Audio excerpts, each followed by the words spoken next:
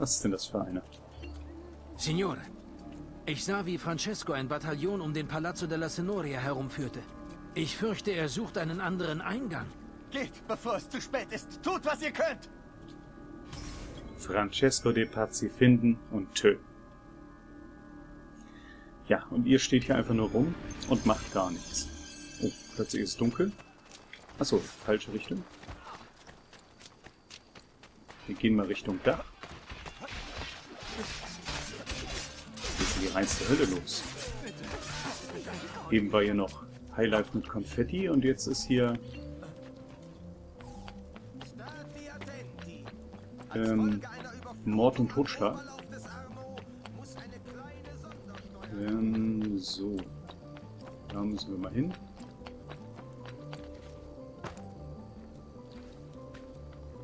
Hey, Saman, Ezio. So, wo genau ist er denn? Ach, hinter dem Dingens noch. Da ist der Zielort, wunderbar. Kommt, meine Freunde! Ich habe frischen Schafsurin und Rosmarinpackungen gegen eure Hühneraugen. Rosmarin. Und Eigenurin.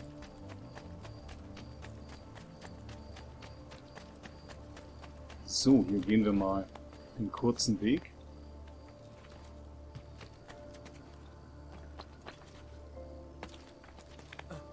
Ich finde das schön, dass man sich hier noch selber heilen muss.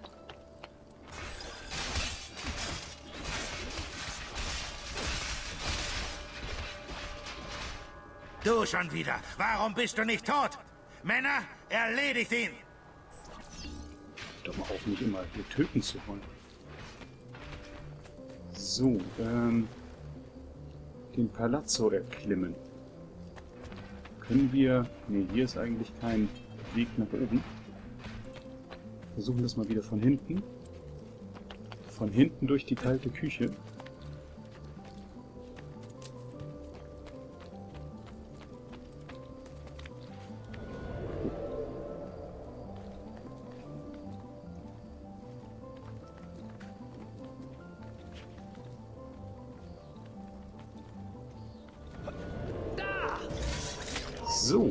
Hat's erwischt. Aua.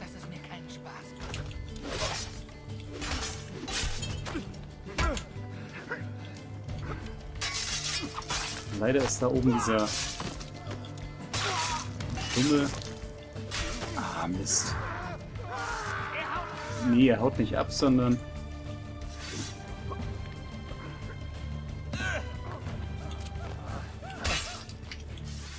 So, das war der. Äh, ja. Ich weiß nicht, was jetzt mit den anderen passiert ist. Achso, da hinten ist noch einer. Oh, der Junge hält sich für einen Schwertkampfmeister. Du hast also Blut geleckt. Meine Männer machen... Der Sieg spricht ein Gebet, Schurken! Äh, wo bist du denn hin? Ich habe ihn! So. Dass du ein treuer Diener dieses Hundes Lorenzo bist? Der Tod wird deine Belohnung sein. Da, auf ihn! So, jetzt eine kurze, äh, lange Leitung.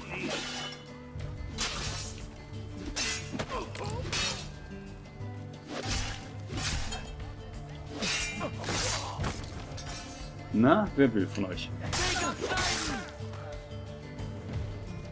Au! Wache! Wache! Keiner wird kommen. Es gibt nur uns. Verdammt! Zur Hölle mit dir! Lass ab von mir! Aua, sag mal. Bist du des Wahnsinns?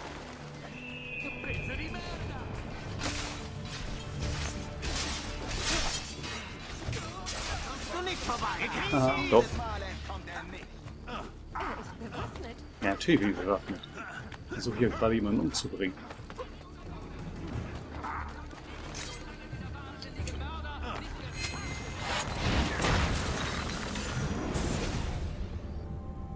Werdet ihr von Florenz für eure Taten gerichtet. Es ist vorbei. Alles vorbei. Besser in diesem Leben zufrieden zu sein, als es erst im nächsten Leben anzustreben. Requiescat in pace. Libertà!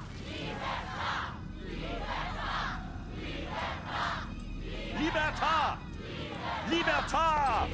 Libertà! Popolo e libertà! Libertà! Francesco?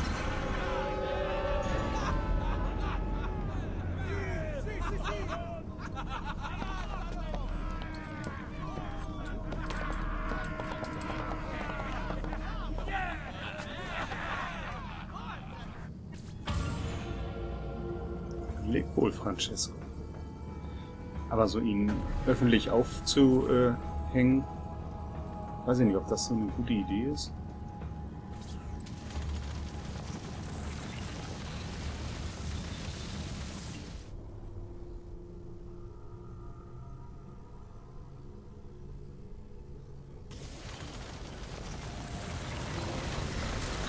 Also, weiß ich nicht, irgendwie muss man sowas doch nicht machen. Die Republik Florenz, 1478.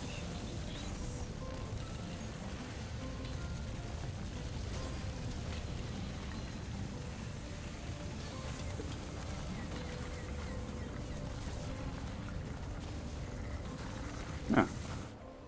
Wir beginnen, wo alles angefangen hat. Nein, nicht alles, aber ein Teil des Spiels. Lorenzo de Medici. Als ich sechs Jahre alt war, fiel ich in den Arno. Bald sah ich mich nach unten sinken und ins Dunkel. Sicher würde mein Leben bald enden. Stattdessen erwachte ich und hörte das Weinen meiner Mutter. An ihrer Seite stand ein Fremder, völlig nass. Er lächelte mich an. Meine Mutter erklärte, dass er mich gerettet hatte.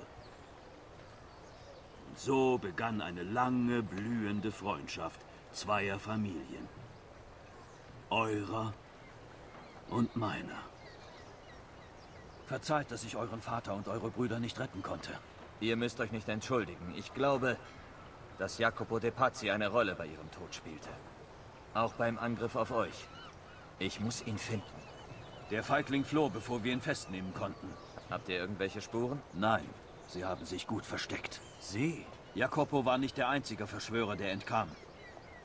Wenn Sie mit Jacopo arbeiten, waren Sie auch an dem Komplott gegen meine Familie beteiligt. Gebt mir Ihren Namen. Antonio Maffei, Erzbischof Francesco Salviati, Stefano da Bagnone und Bernardo Baroncelli. Bene, ich gehe zu meinem Onkel. Er hat Männer im Hinterland stationiert. Wartet, bevor ihr geht. Eine Codex-Seite. Ich nahm sie aus den Akten von Francesco di Pazzi, da er sie sicher nicht mehr braucht. Ich habe mich immer für alte Dinge interessiert. Wie euer Vater. Es ist auch bedeutsam für mich. Dann seht sie als ein Geschenk. Möge Gott uns alle schützen.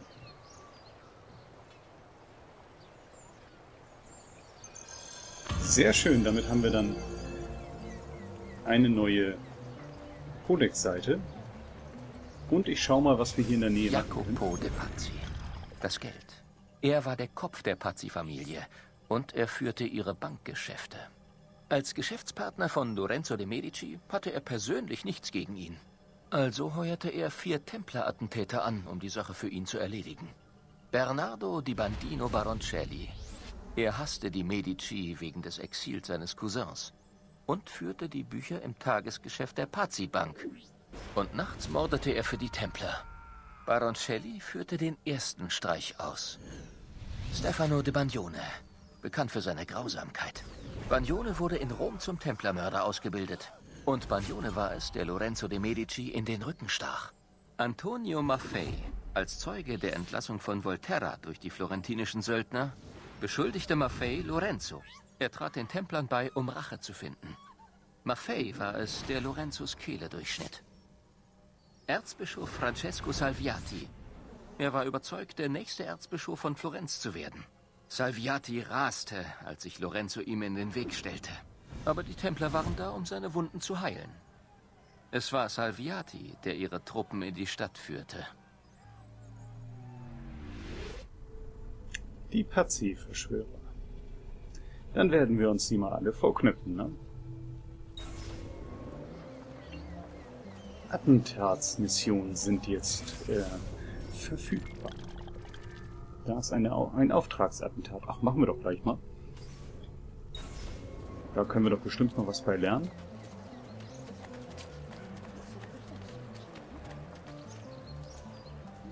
Und vor allem, wie wir hier durch die Menschenmassen kommen, relativ schnell.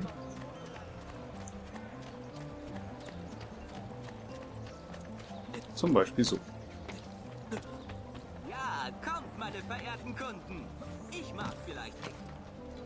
So, da haben wir jetzt einen Gegner vor uns. Ist aber nicht schlimm, weil wir werden nicht gesucht. Ja, noch ein Weg. Aber muss ja trotzdem nicht unnötig auffallen.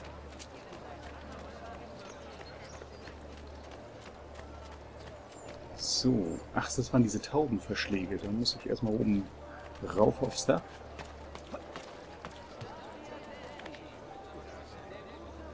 Äh, Tauben, die fliegt in der Luft.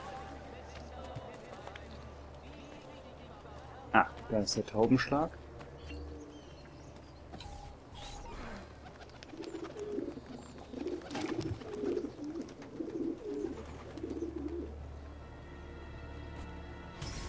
Eine Verschwörung gegen die Nachschublinien von Florenz wurde entdeckt. Beendet sie, indem ihr den Händler auf dem Marktplatz im Bezirk San Marco eliminiert. Lorenzo. Das machen wir doch. Und schauen mal, wie einfach das wird.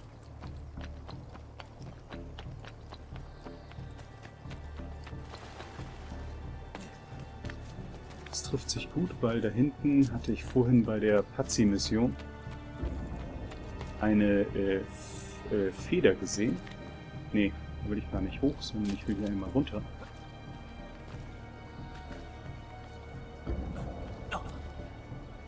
Und dann da wieder hoch. So. Da oben ist sie nämlich auf dem... Ich weiß nicht, kann man das sehen? Ich mach mal kurz die tolle Cam an. Hui, das war aber knapp.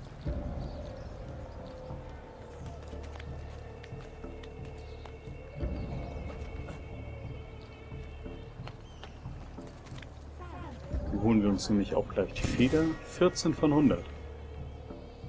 Da wird sich unsere Mutter freuen.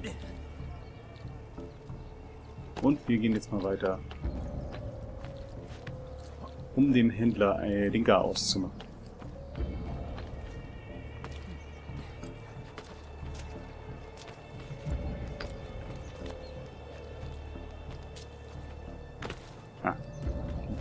schon geknackt.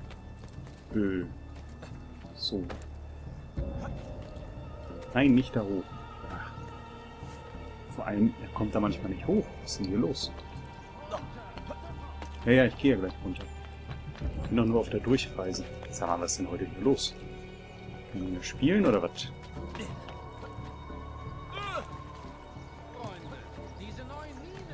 So, dann gehen wir hier lieber auf den Boden, sonst fallen wir noch irgendwo runter. So, wo ist er denn? Hier ist er nirgendwo.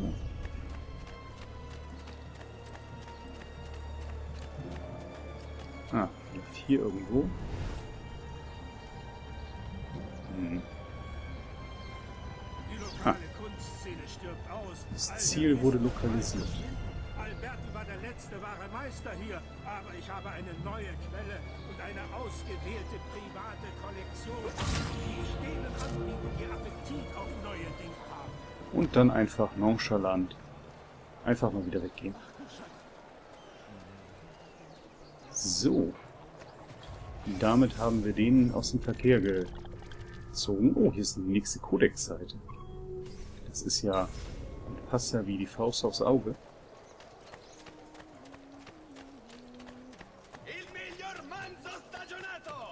Äh, ja. Schrei doch hier nicht so rum. Da stehen natürlich Leute.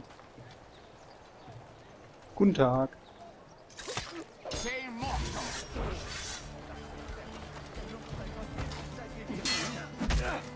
So, den...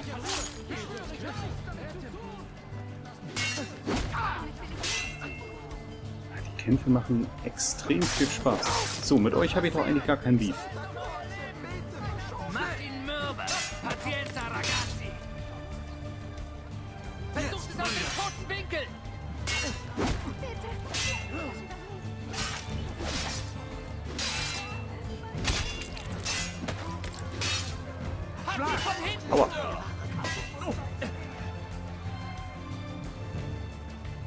Na, wer will? Komm schon.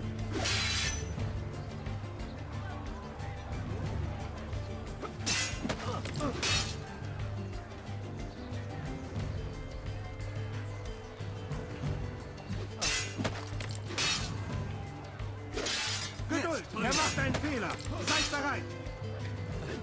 Boah. Tatsächlich einen Fehler gemacht. Und zwar angegriffen. Versucht es aus dem toten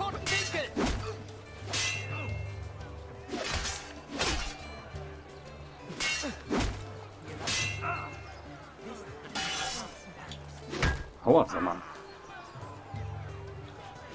Was hat er denn für ein Hämmerchen da? Ah, sag!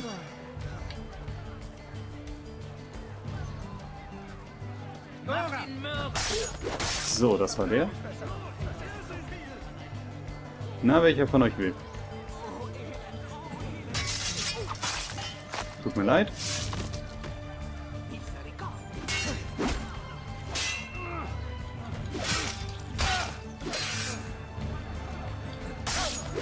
So. Damit hätten wir jetzt die nächste Codex-Seite. Und wir werden schon wieder gesucht. Was nicht unsere Schuld ist. Wir werden stattdessen mal... Ah, hier ist gleich das nächste Attentat. Und auf dem Weg werden wir nochmal ein Zettelchen abreißen. Damit wir nicht in die Bedrulle kommen, äh, von der Wache verfolgt zu werden.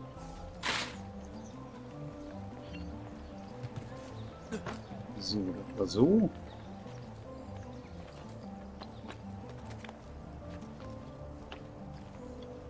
Ähm, zack.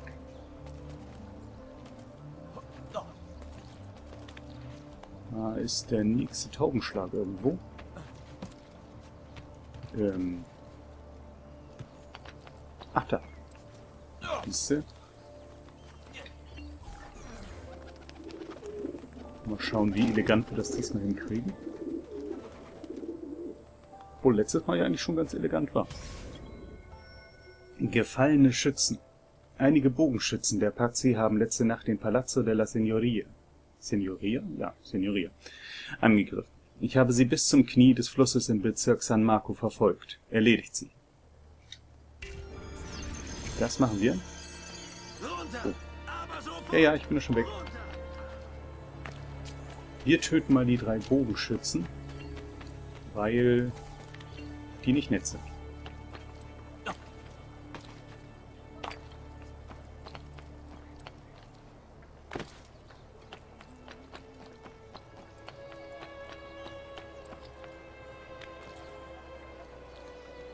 Ah, sind wir fast runtergefallen. Also nicht, wir sind nicht fast runtergefallen, sondern wir sind runtergefallen. Aber es hätte ja auch mit Schaden enden können. Und der ist uns erspart geblieben.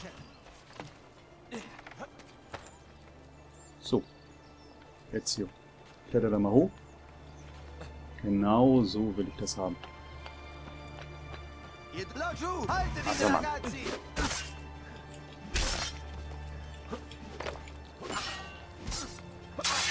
So, tut mir leid.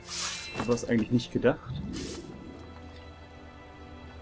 Jetzt hängt er da genau an der Regenrinne fest. Und fällt da Gott sei Dank nicht runter. Oh, eine Feder. Ich werde natürlich nicht leicht von sowas abgelenkt. Aber man muss ja auch mal da Prioritäten setzen und ein Feder ist natürlich schon mal wichtig.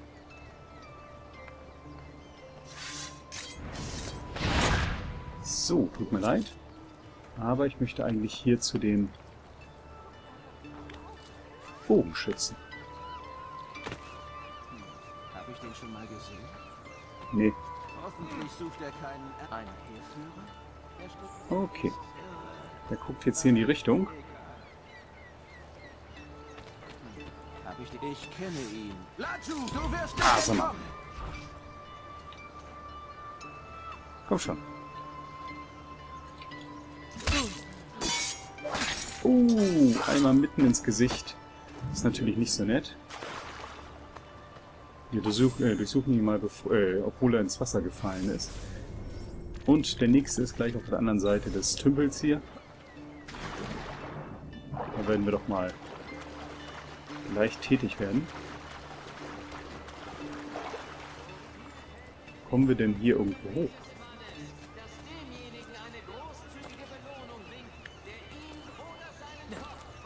Hier kommen wir nicht mal hoch.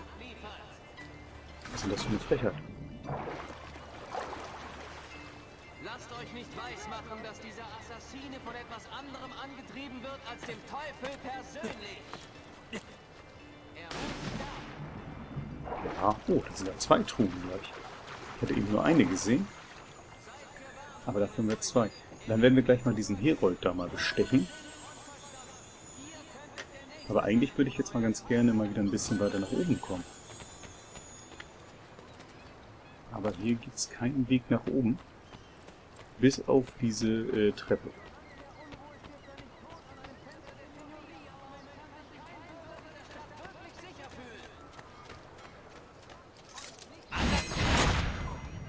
So, das war der. sind die Verfehlungen dieses Mannes, dass demjenigen eine großzügige Belohnung winkt, der ihn oder seinen Kopf bei der Stadtwache abliefert. Ähm, wir bestechen ihn mal mit 500. Einfach mal nur, um es zu zeigen. Ach, jetzt erzählt er nichts mehr. Wegen eines kleinen Aus...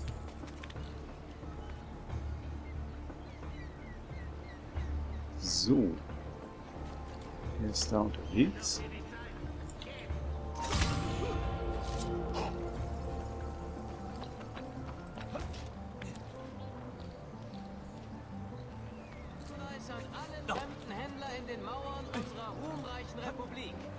So, er quatscht jetzt was anderes.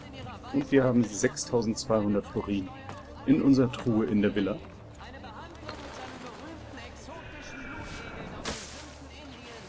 Ich kann einmal kurz ein bei dem guten Mann was einkaufen. Ja, wir wollen die wirklich kaufen. Schon bald fühlt ihr euch besser. Ich fühle mich jetzt schon besser.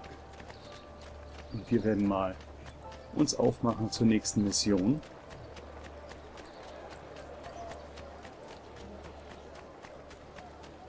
Oh, wenn hier nicht schon gleich das nächste Attentat auf uns lauern würde.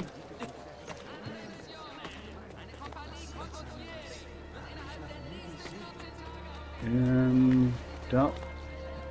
Ach, da. Ach, stimmt, hier waren wir doch schon mal. Ist doch gar keine 20 Minuten her.